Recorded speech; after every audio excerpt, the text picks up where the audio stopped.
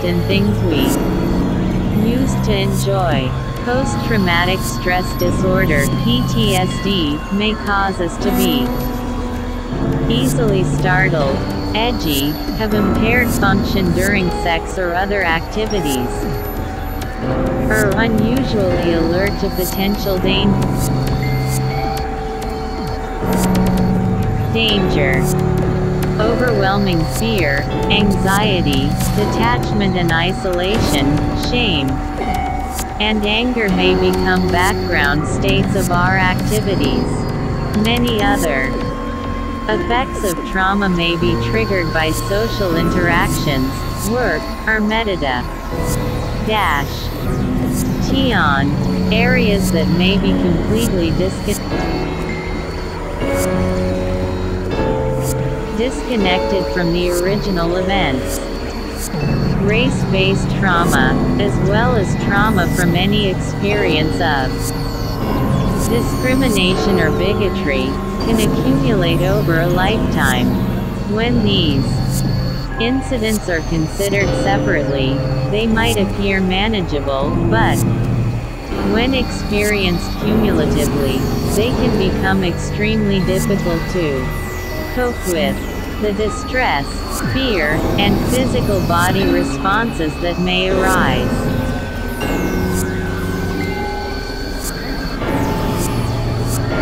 From this kind of trauma often overlap with the symptoms of PTSD.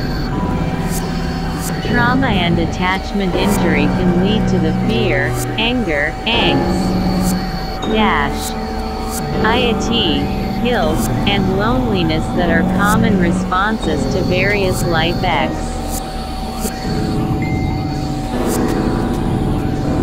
Dash. Experiences.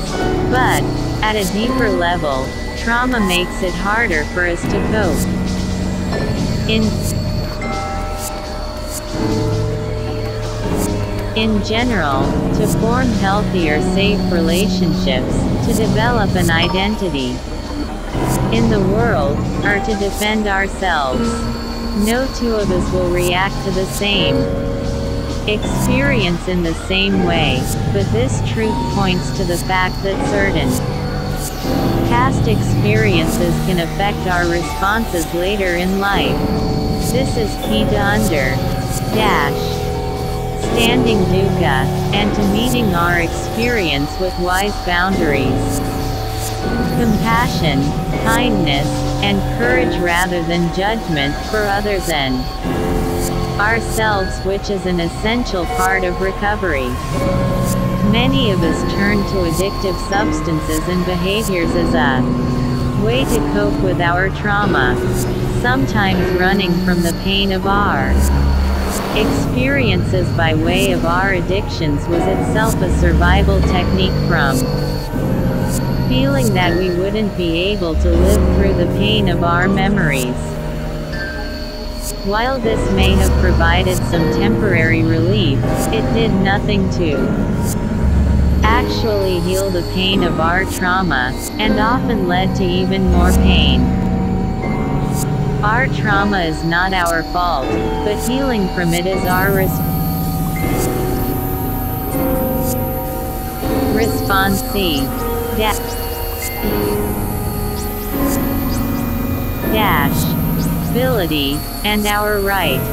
Developing understanding and compassion toward the way trauma affects our reactions to events or circumstances in the present moment is an important part of that healing. Inquiry of the First Noble Truth. Colon. Begin by making a list of the behaviors and actions associated with your addictions that you consider harmful. Without exaggerating or minimizing, think about the things you have done that have free dash aided additional suffering to yourself and others. For each behavior listed, write how you and others have suffered because of that behavior.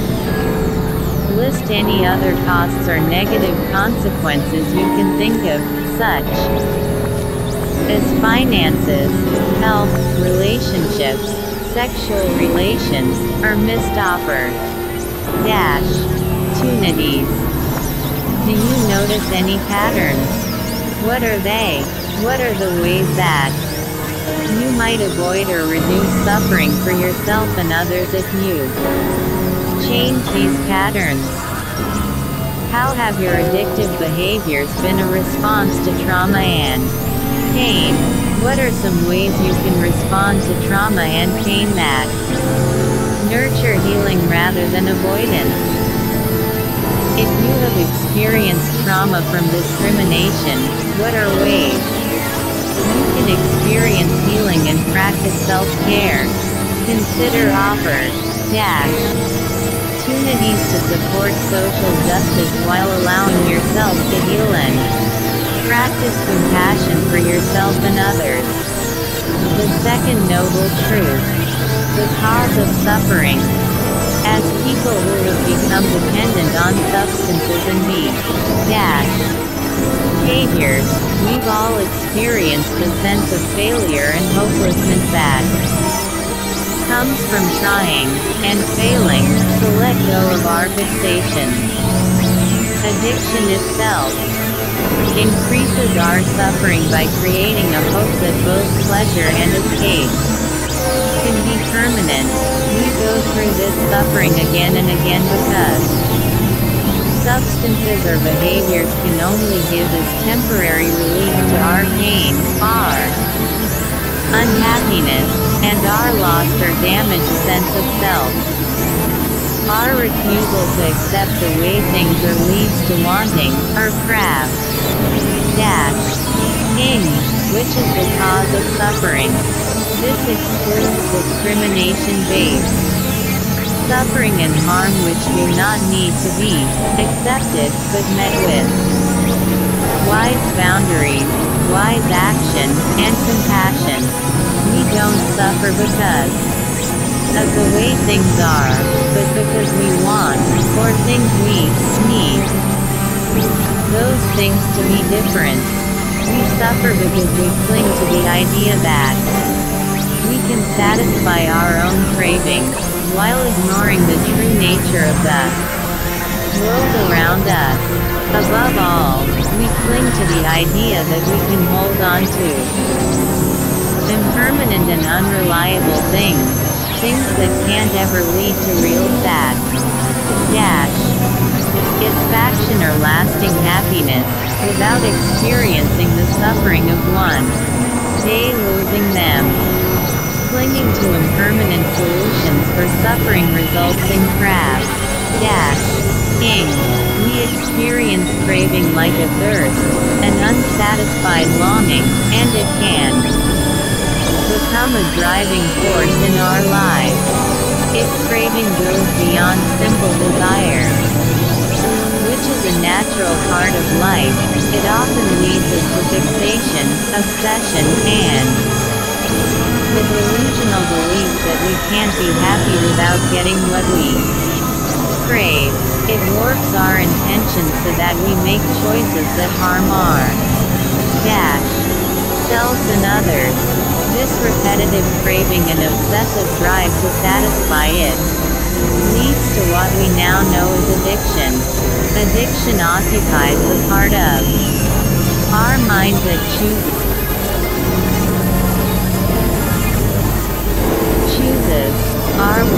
and replaces compassion, kindness, generosity, honesty, and other intentions that might have been there. Many of us experience addiction as the loss of our freedom to choose it. The addiction that seems to be making our choices for us.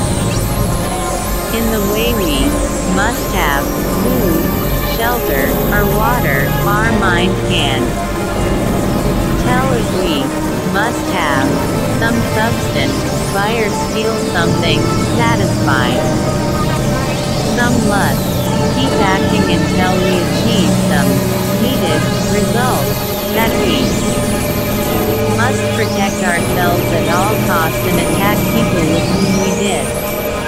Dash are people who have something we want.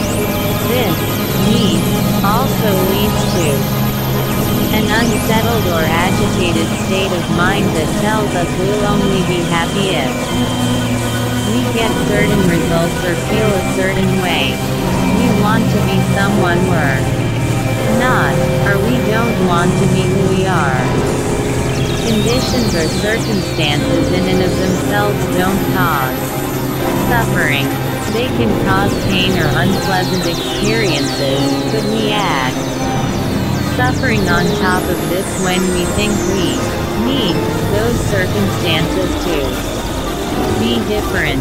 We create even more suffering when we act out in ways that deny the reality of the circumstances and the reality of impermanence.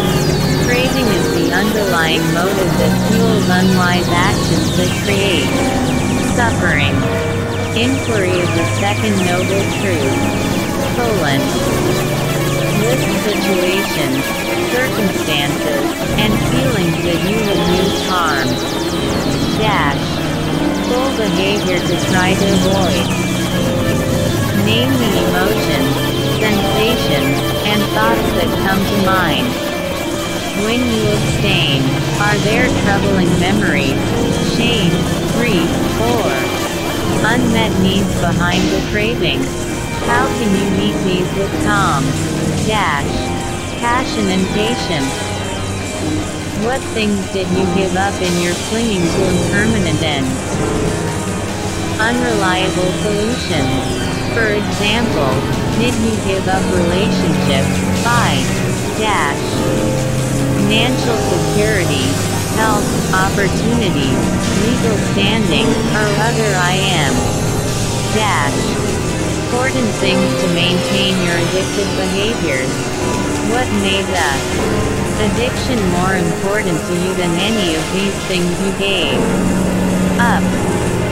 Are you clinging to any beliefs that fuel craving and aversion? Beliefs that deny the truth of impermanence, are beliefs about how things in life should be. What are they? If you have experienced discrimination-based trauma or social injury, dash, type, how can you meet the experience in a way that honors your true self, without creating more pain and suffering? The third noble truth. Ending the suffering. It is possible to end our suffering when we come to understand the nature of our craving and realize that all our experiences are tempo. Dash. Rary by nature, begin a more skillful way to live with the diffid. Dash. Satisfaction that is part of being human. We don't need to be torn apart by our thoughts and feelings that say, I have to have more of that, or, I'll do anything to get rid of this. The third noble truth states that the end of craving is possible. Each of us has the capacity for recovery. We are responsible for our own actions and for the energy we give our thoughts and feelings. This means we have some control over how we respond to our own suffering, because the unpleasant emotions take place within us. We create them through our response to experience. We don't need to depend on anyone or anything else to remove the causes of our suffering. We may not be able to control anything out there, but we can learn to choose what we think, say, and do.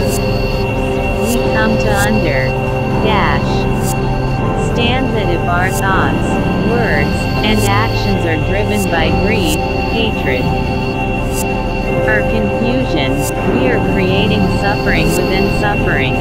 If we let go of these attitudes, we can lessen suffering or even create freedom. We can choose to give up these causes of disturbing and unpleasant emotions.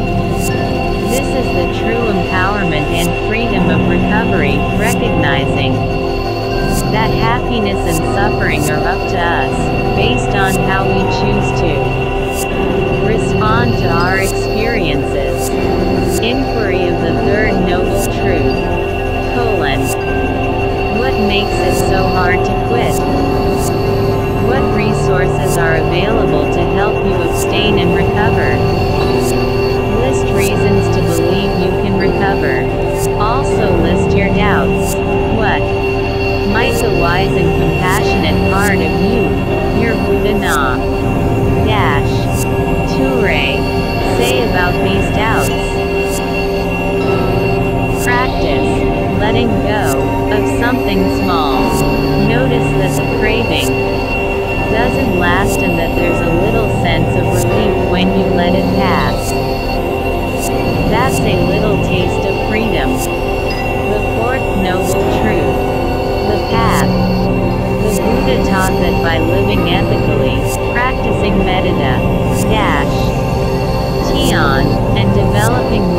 and compassion, we can end the suffering. We create by resisting, running from, and misunderstanding reality. The fourth noble truth is the path that summarizes the S dash essential elements to recovery, or awakening, and leads to the ending of suffering. It provides an instructive practice for investigating and become dash being aware of the conditioned responses we cling to. These are the eight factors of the path. 1. Wise understanding. 2. Wise intention. 3. Wise speech. 4. Wise action. 5. Wise livelihood. 6. Wise effort. 7. Wise mindfulness. 8. Wise concentration. These eight factors can be divided into three groups. The wisdom group of understanding and intention. The ethics group of speech, action, and livelihood. The concentration group of effort, mindfulness, and concentration. Each of us will understand and practice each aspect of this eightfold path in our own way. We develop our wisdom, ethical practice, and concentration as far as we can in any given moment. As we come to a deeper understanding of the Four Noble Truths, we're able to bring more effort and concentration to letting go of our greed, hatred, and confusion. Our ethical development will cause us to reflect more deeply on these sources of our unwise actions. The Eightfold Path is a way of life that each of us follows and practices to the best of our current understanding and capacity. The path serve as both a religious and non-religious journey. For many people, their Buddhist practice includes prayer, worship, and ceremony. It is up to you to decide whether to include these practices as part of your recovery path. Inquiry of the Fourth Noble Truth. Colon. Understanding that recovery and the ending of suffering is possible. What is your path to recovery and ending the suffering of addiction? Be honest about the challenges you might face, and the tools and resources you will use to meet those challenges. What behaviors can you change to more fully support your recovery? What does it mean to you to take refuge in the Buddha, the Dharma, and the Sangha for your recovery? The Eightfold Path. We've found that it's useful to make inquiry and investigation a normal part of our everyday routine, especially when we're feeling un dash comfortable emotions or facing tough decisions. We can take a moment to pause and sit with what we're experiencing, identify it, and simply Allow it to be, with compassion and without judgment. Then use the Eightfold Path as a guide to go inward and forward by asking ourselves, How can I apply the Eightfold Path? It can also be beneficial to use the different sections of the Eightfold Path as an end-of-day reflection. Wise understanding. As we engage in the world, rather than withdraw from it, we can use wise understanding to live without clinging, attachment, or craving. By paying attention to our actions and the results of those actions, we can begin to change where our choices are leading. If we intend to act in ways that have positive results, and if we're aware of the true intention and the nature of our actions, then we'll see better results, better meaning less suffering and less harm. The word karma in Sanskrit translates to what our actions create. Dash. 8. Any intentional act, mental, verbal, or physical, is a kind of balance, the balance, the balance, the balance, the balance, the balance, kindness, compassion, loving, and equanimity. When we act unskillfully or un dash. Wisely, when we steal, lie, take advantage of somebody else, or cause intentional harm based on our own craving or delusions, it creates an immediate sense of imbalance. It fights with our intention to avoid harming others. Karma is determined by our intention and applies to any volitional or purposeful action, the result of our volitional actions may be an increase in our happiness or may lead to additional suffering. There is no actor apart from action, and there is no action without intention. Unskillful actions leave us less able to meet the next challenge or pain we face. For example, when we steal, we have to immediately justify to ourselves why our greed was more important than the harm we caused. By taking, we must create a cover story, hide our actions, and adjust to the fear of getting caught. Ultimately, if the theft gets discovered, we might have to deal with financial or legal consequences, or face a lack of trust from our community. Similarly, when we're dishonest, we immediately focus energy on maintaining the untruth. We must emotionally carry that potential pain that is caused to others, and ourselves, if the lie is revealed. This understanding of karma rests on the insight that we are responsible for our own happiness and misery, and there is a cause to every experience of happiness or misery. From a Buddhist point of view, our choices, which are dependent on our present mental, moral, in dash, intellectual, and emotional conditions, decide the effects of our actions. If we act skillfully, with understanding and compassion, it's possible to cause positive, beneficial effects for ourselves and others. If we act with unskillful intention, we cause our own suffering. This doesn't mean that we always have control over our XP. Dash. Says, no matter how skillfully we act, the external world, people, places, things, societal structures, might not give us what we want. This does not mean we have bad karma, or that we've failed. It just means that we're not in control of everything and everyone. The point is that, regardless of what the outside world throws at us, we're responsible for how we respond to it and how we tend to our internal world.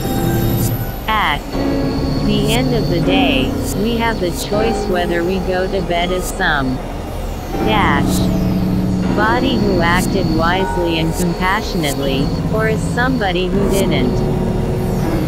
It's important to note that being responsible for our own half dash finesse and suffering doesn't mean we're responsible for pain inflicted on as by others, or by circumstances out of our control.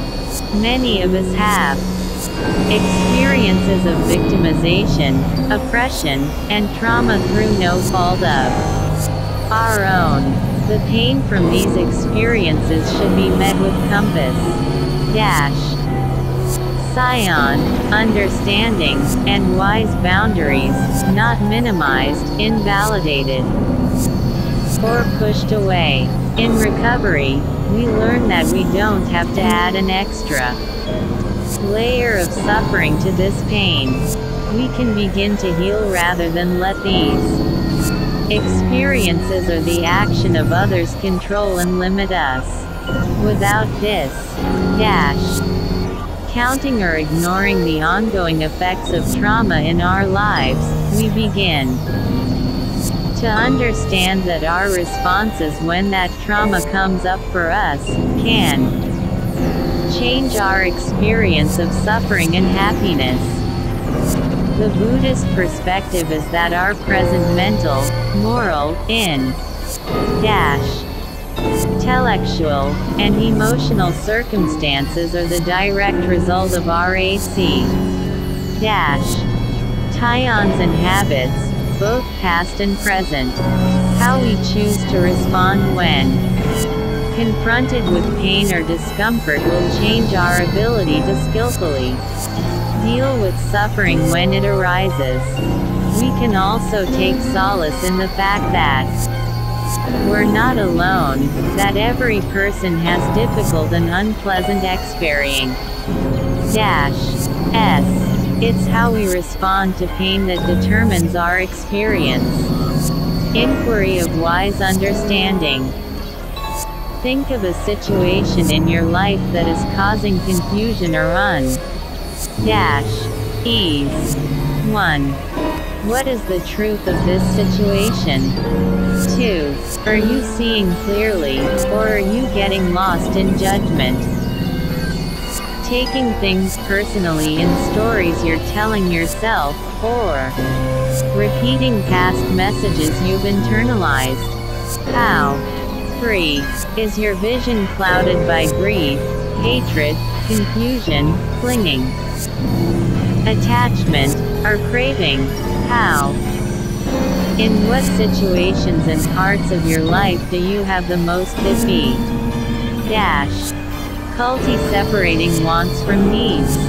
Are there areas or relationships where the drive to get what you desire overshadows any other concept? Dash. Duration. Has this changed since you began or continue in recovery? Are there parts of your life where you are driven to continue unpleased? Dash. And experiences because you think you must, or need to. How is karma, the law of cause and effect, showing up right now? Where in your life are you dealing with the effects or aftermath of action you took in the past, both positive and negative. Wise intention. Wise intention describes the attitude or approach we take to dash toward ourselves and the world. We can choose non-harming by avoiding actions that have harmful results, detaching from the cravings that seem overwhelming in the moment, and developing a kind and compassionate stance toward ourselves and the world. Wise intention leads us to stop doing things based on confusion, ill will,